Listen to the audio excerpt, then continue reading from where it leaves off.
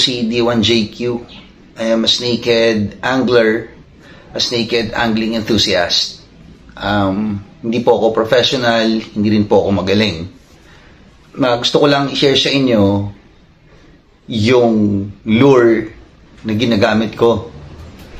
At uh, to say something about this um, hollow body lure na effective para sa akin, baka sakaling makatulong o may mapulot kayo.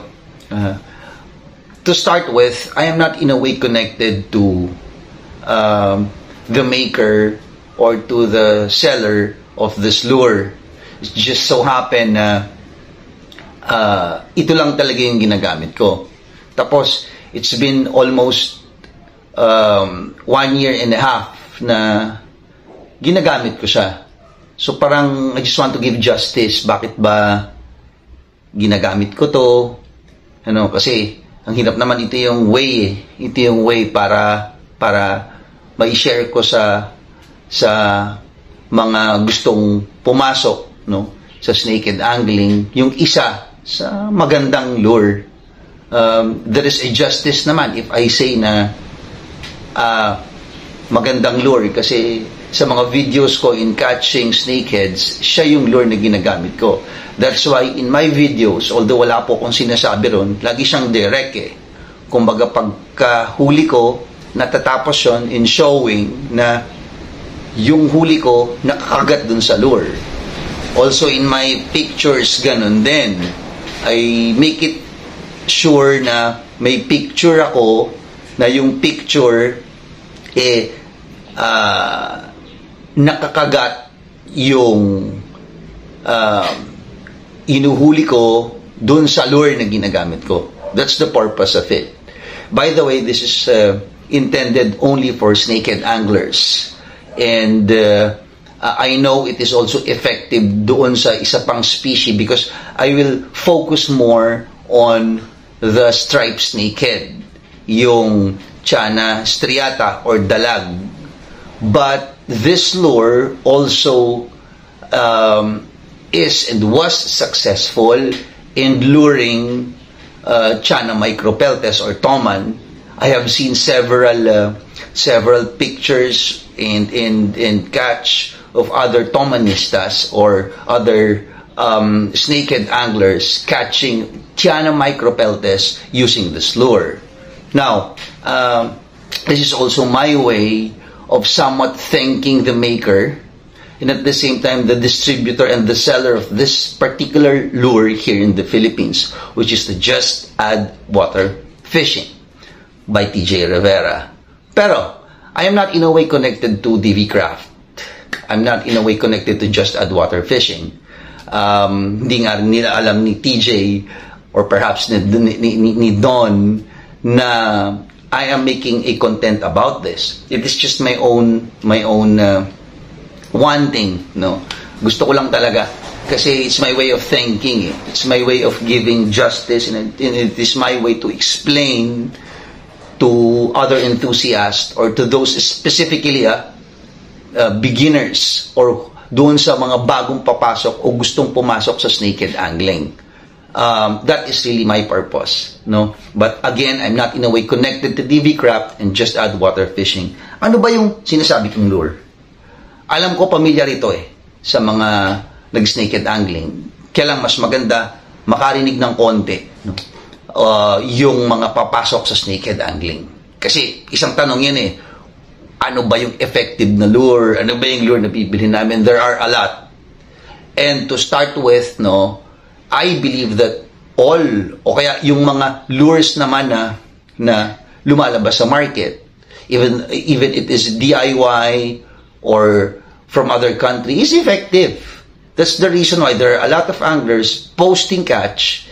Iba-iba naman yung lure natin, no? Siguro in in the near future we can talk about it. I can share to you why is yun yung belief ko na every lures are effective But then again, my purpose this time is to share to you one, the best I've used. And to tell you honestly, ito lang yung ginagamit ko ngayon. Sabi ko nga on my previous content na na uh, pinost ko about uh, a rod na I'm using I'm using only one lure. Yan. And it is the DV Craft Softbird. Ayan. Um, this is uh, distributed here in the Philippines by Just Add Water Fishing by TJ Rivera. Okay now, pag-usapan natin yung durability. Doon muna tayo. This is made of, uh, I think, latex or rubber. Or sabihin na natin, it's a rubber. Hollow, bakit wala naman laman sa loob? Usually kasi, ang ginagamit natin, I'm speaking of the top water fishing, no? this is a top water lure. Pag sinabi po nating top water, yun yung lumalangoy sa ibabaw ng tubig, tapos ini-strike sa ibabaw. Therefore, nakikita natin yung blow up, nakikita natin yung kagat, o kung tawagin naming mga anglers, strike, no? ng snakehead or um, dalag or toman doon sa lure o pain or bait na nasa ibabaw ng tubig. And the DV Softbird is one of or, or one kind of top water hollow body lure.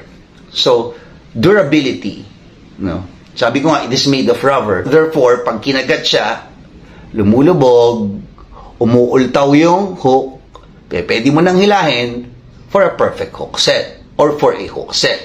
Pag hook set niya nag-set properly, maihigit nyo siya, pupunta sa inyo kasama yung huli nyo. Basically, yun yung purpose ng lure. Durability. To tell you honestly, ang isa nito can catch many snakeheads. I cannot have my counting. Hindi ko na mabilang kung gaano. Pero lalagyan ko kayo ng est ng, ng bibigyan ko kayo ng ng estimate na buwan I'm using one of my lure. Ito pa yung mga ginagamit ko Yan. Uh, ito, lagi akong tatlo, may dalang tatlo. Kasi pag, na, pag natanga yung isa o sumabit na putol, may dalawa pa ako.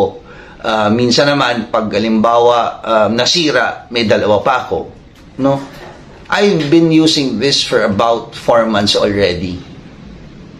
At hindi nyo naman, uh, at makikita nyo naman, no, na I have catch. Kasi bago ito, may mga videos ako sa babae.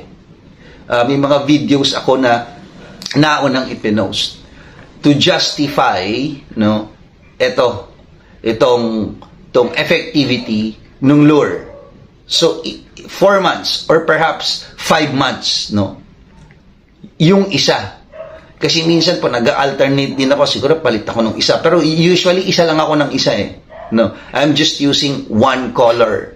No, uh, but there are available colors. Maraming color schemes. Merong green, may combination of black and red. Marami pong kulay. It is just yours truly is using just one color. No, uh, it is uh, my my piniprefer ko yon yun yung style ko at uh, doon ako komportable no ayun so that is how durable this lure is.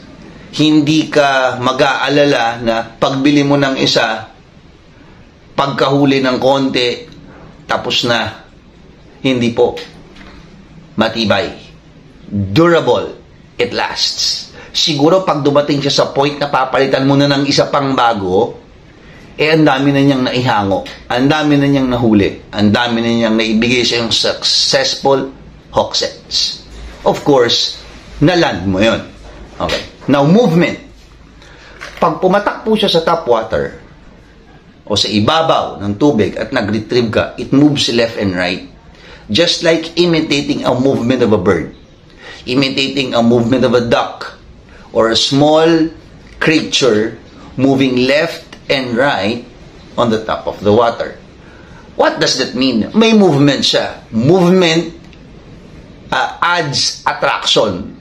Movements give disturbance. no, to the territory of the snakeheads, therefore giving high percentage of a strike and giving high percentage of a bite. Therefore, the movement of the DV soft bird is very lethal and at the same time attractive to snakehead. So isa po yon sa dahilan bakit ini-strike siya. Let's go down to effectivity. Like what I have said, there is a movement. Pangalawa, the DB soft bird floats. Ibig kong sabihin, pag binagsak mo sa siya tubig, hindi mo siya ni-retrieve. It floats. Anong importance nun? There are anglers na hindi na magkaka uh, uh, iba ang paghawak sa reel, no? Anong ibig kong sabihin? Pagbagsak ng lure, yung iba, for example, righty, tapos ang pang, pangkas niya is right, nagpapalit pa sila sa left hand to retrieve. So there is a time sa lure na pagpatak sa top water, hindi agad ma-retrieve. Pag ang lure mo na top water lumulubog, no? Pagpatak nun, syempre it will sink, lulubog. Then pag retrieve mo, it will take siguro a short time bago uli umultaw. It is not like the DV soft bird. Pagpatak niya, iwanan mo, ultaw siya. Therefore, when you retrieve, naroon lang siya sa position niya, hahatakin mo siya, nakalutang. May mga instances po kasi na pagpatak ng lure, a few seconds, there will be a strike So therefore, consistent yung position niya sa tubig pag nasa top water siya. It will be again a successful strike. And also, like what I've mentioned before, the movement. The movement is consistent. Why did I say that? Meron po kasing mga top water lures na made of rubber or whatever soft material it may be, basta close to rubber. It can be latex, it can be plastic, but there are some soft or hollow body lures na pag kinagat, pag na-strike, pag nabigyan ka na ng maraming land, diskaril na po yung movement. Ang ibig kong sabihin, wala ka nang makikitang movement o yung ipinakikita niyang galaw nung binili mo siya, wala na ron. But the movement of the DV softbird is consistent. Mind you, there are also times that it moves straight, it moves left and right, uh, when you change your retrieving style. Like for me, sometimes I do, or most of the times I do slow retrieve style. Minsan po, binibilisan ko ng konti, kumporme no, sa hinihingi nung reaction sa spot at specifically hinihingi nung spot. But mostly have a cover, so I do slow retrieve. Therefore, it gives movement even on the top of the vegetation oftentimes. No? That is why an effectivity is to be expected in this topwater hollow body lure. Okay. Hooks. Diba? Sabi ko nga sa inyo, kanina when I start, doon sa point ng durability, almost 5 months ko na siyang ginagamit. Kasama po rin yung hooks. Ibig kong sabihin, yung sharpness and effectivity of the hook itself. Kasi po, may mga pagkakataon okay pa yung katawan, tapos yung hook mapurol na. Ano ba yung basis ko? My personal basis. Why I say that there is the, the, the, the hook is effective. Pag po kasi hinihipo ko yan, pag parang dumidikit pa siya sa, sa balat mo, parang may kagat, no? Uh, imagine your uh, the skin of your finger, no? Yung dorsal portion, no? uh, pag, pag kinagat natin, pag kinuskus mo yung hook, parang may kamot, may dikit, it means effective pa. Mind you, matagal na po tong lure na to ha. Oh, uh, hindi na siya bago. Ah, oh, may pilas na nga yung ibabaw. But I'm using this still because this still floats. No? This uh, uh, still give me catch. Eh, ang tagal na po nito. No? And the hook is still uh, effective as for me. And again, my basis is pag hinawakan mo yung dulo, may kagat pa siya, oh. may pagkit pa ng konti. Eh, yung balat natin sa daliri, mas malambot yung loob ng bibig ng dalag o tiyan na striata and at the same time toman. Although, syempre, matigas silang isda, pero yung loob nun, capable pa siyang tumusok. Therefore, you can have a perfect hook set. Okay? Now, may problema tayo sa hollow body. Sa mga nag-uumpisa, isa ito sa aming problema. Ano, at alam ko, naked anglers will understand that if we buy a hollow body lures, there should be a weights. Di ba? Meron dyan pabigat so that we can cast it and uh, and and uh, ano um, it adds also balance or position pag nasa tubig na yung yung top water hollow body lures and at the same time generally nga kinakailangan may bigat for us to cast it ang problema pag tagal-tagal ng isang lure yung weights most of the time tingga nalalaglag nawawala the soft bird, I will speak of the new version. Kasi may, nag-evolve po ito eh. The old weights that the DV Craft have used was a rounded type weights. Ngayon po hindi. It is a diagonal. It is a teardrop kind of lure. Yun yung shape niya ngayon. Ito po, nag-offer sila ano, ng, ano, ng replacements. So, kung mawala man, yung weights mo, meron kang replacement. But anyway, hindi siya madaling matanggal. I'm speaking of the new version. Ngayon, yung old version, kung meron pa kayo, palagay ko naman, kukonti niya lang ang meron nun. Ako, ubus na eh. Ano po? Yung old version kasi, bilog, nakakalas. But meron dong innovation. No? We sometimes tie it, tinatalian namin, tapos ikinakabit dun sa hook. Yun eh, hindi na nawawala. But in a way, kumpara rin sa iba na merong weights, no? Mas malaki o mas matagal yung yung lifespan ng pagkakakabit ng weights ng DB Softbird sa kanya. Therefore, less fear ka of losing your weight. And at the same time, there is a, a after customer care in which yun yung wala sa iba. Na pagkabili mo, ox na, nabili mo na, hindi. You can contact again just add water fishing for another weights or for the weight replacement. And that is how the weight goes. Okay? Now, there is one thing that I want to give focus on in this kind of lure. Kasi minsan po, ang most na problema namin eh, na natin is to cast the lure as far as we want. Minsan, meron naman malapit lang may cast, may ano ka na, may strike ka na, okay yon But we want to reach far eh, di ba? Kasi paglayo naman, logically, paglayo ng cast mo, pagdami nung mga gagalawan mo sa spot. Ayan. Now, this lure weighs 7 grams. Hindi siya kabigatan. No.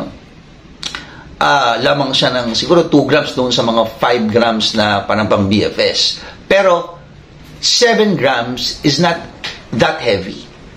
Therefore, yung bigat na yon, hindi ka po pwedeng dumepende na mailalayo ng bigat na yon unless otherwise you use a very sensitive reel or a, a reel that is capable of casting far o bigyan ka ng malayong castability. So magaan yun. But the question is, are you satisfied with the casting distance? And if you are satisfied, can you give explanation? Pwede mo bang i-explain Pwede ba nating malaman ano ba ang totoo dyan? Na ikakas ba talaga ng malayo? The answer is yes. Why? Because tayo bumibili, ang ating uh, kalimitang basis is kinakailangan mabigat.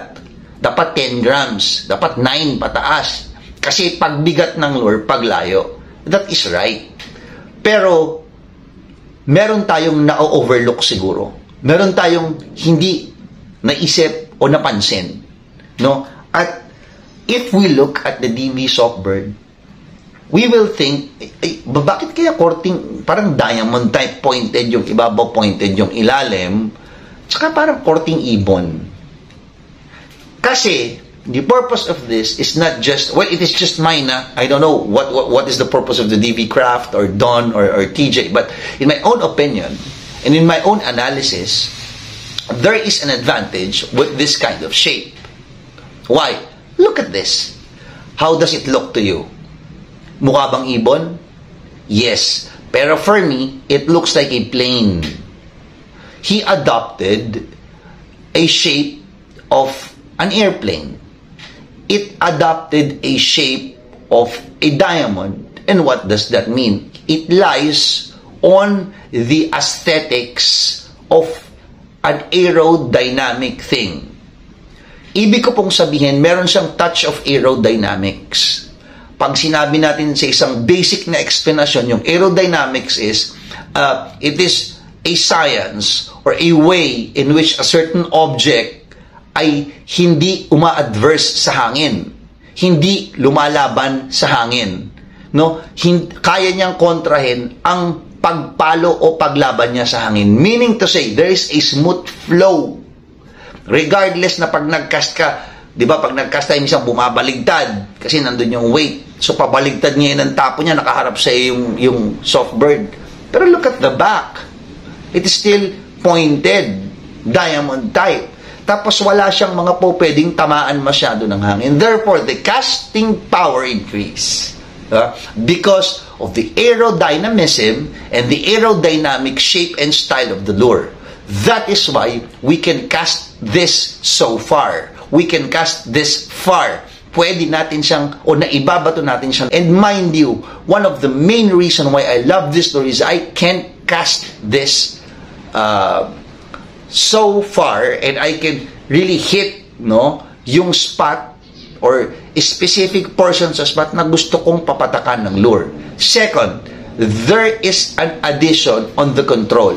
Makokontrol mo siya. Masarap, ma- madaling kontrolin kung saan mo papapatakin yung lure because it's an aerodynamic. Just like the shape of an, of an airplane that can be easily maneuvered by a pilot. Yon yung aerodynamic uh, na characteristics ng DV Sockbird. That's why it is very, very, very, very good to cast. Ang sarap i-cast, ang layo ng naaabot. Okay. Now, let's talk about the price. Well, go to Just Add Water Fishing sa page nila, then ask about the price. But gaya ng sinasabi ko when I say or introduce something to you, no? Yung kasing presyo na ibinabayad natin dito, sulit yung ibinabalik. No? At parallel siya sa line price ng mga hollow body lures. At again, effective. Um, kaya sa mga snakehead angling enthusiast and those who wants to enter snakehead angling, please consider the DV Craft Softbird uh, as your arsenal or a part of your arsenal or lures in catching snakeheads, both Chana striata and Chana micropeltes, dalag or toman. The DV Softbird is one of the best for me hollow body lures, top water hollow body lures in the market today.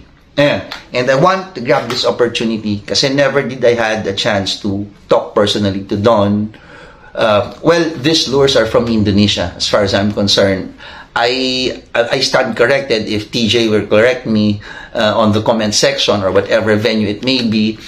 Uh, but I uh, this lure uh, was from Indonesia, and uh, it is dis- distributed in the Philippines by Just Add Water Fishing by TJ Rivera, and I know there are still. Um, um, tackle shops and dealers that was allowed by uh, uh, just Adwater to distribute this specific lure. In fact, alam ko sa Lipa po, meron kay KHM.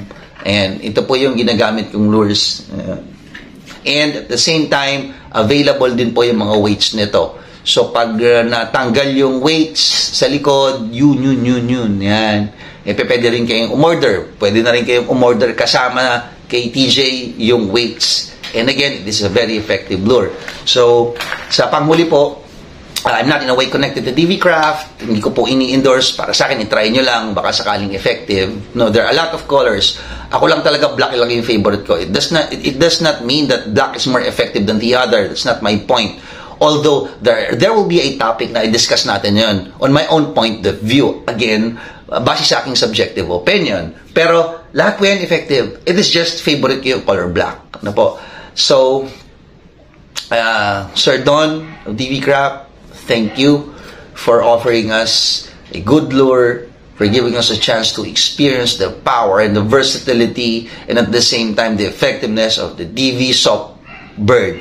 Yan. Uh, of course, by DV Craft. And TJ, thank you very much. Alam niyo po, konti ko lang nga kung kwento ng konti. Nung una, when we first had a conversation, um, sabi ko kay TJ no, nang hinahanap ko sa kanya yung sinaunang uh, ano was the Froggy Warrior ganun. but then again TJ told me na pre try, try mo to sabi ko mukhang ibon sabi hindi basta try mo lang sabi ko ah okay. So sige. Then on nung gamitin ko siya casting ko pa lang sabi ko 7 grams ang lain ng naaabot uh, uh, pagkatapos talagang nagkakaroon ako ng strike on hollow on hollow body lures na more frequent than before. Kasi mas mas dati mas enjoy ako sa sa hard body eh.